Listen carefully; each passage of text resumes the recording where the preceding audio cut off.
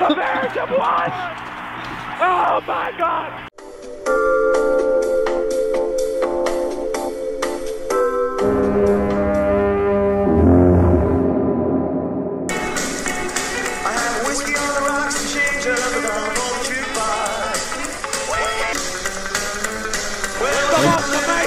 sensational, dramatic, heart-rending, exciting, thrilling oh. finish in the history of college football. Is he in some broadcasting hall of fame? He should be just uh, for he that. He will be at some oh, point. He's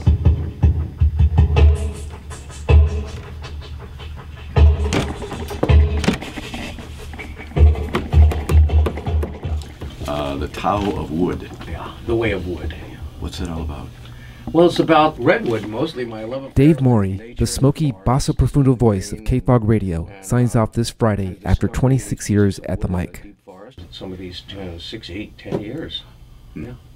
Mickey Hart is with us. The Tao of Wood is Mickey's new exhibit, the debut show featuring his sculptures and paintings. Obviously, the voice is, is huge to Fogheads and everybody from Burt Bacharach to you name it. Practically every guest has always said, Oh my God, your voice is amazing. So Dave will say, Good morning, we've got such and such in the studio. And they'll always go, Oh my God, that's you've got a great voice. It's like, Yeah, that's why I do radio. Friends at home, friends in the studio. Hey, what do you say we? And yeah, obviously he's got the great voice, but more than that, it was just kind of the the personable delivery. Like he's just talking to you. He's a friend, you know. He ha- he has a beautiful, you know, a great radio voice, but he doesn't abuse it. you know? Eric in Redwood City, 42 fingers old today, but looking good. Usually we get a call or two uh, every morning these days, people saying, uh, I can't believe you're leaving me. yeah, me too. I never thought you'd retire before me. Uh, but others will start to tell him, what he's meant to them and you kind of hear it in their voices. You, you hear them starting to get choked up and stuff yeah i just i just got a 15% salary cut so uh, man oh man. Yeah it's tough. Well you still got a job though. Absolutely. That's okay. I, I thank my lucky stars and good luck to you. There you go. Thanks a lot. I appreciate that. Okay bye-bye. Bye. I just wanted to sneak out sneak out of town quietly you know but it ain't gonna happen. Yeah. at 10.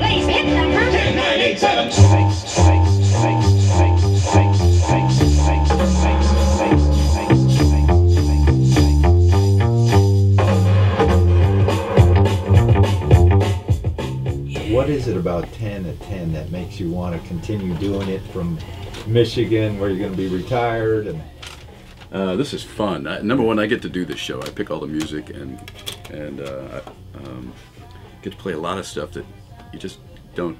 People don't get to play on the radio anymore. Radio now and for a long time has been like narrow casting, you know.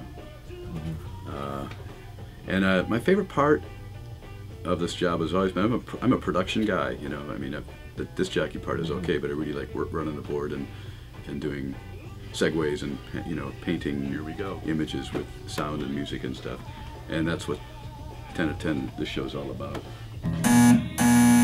Uh-oh. That's tune number 10, and that means our time is up. and we're off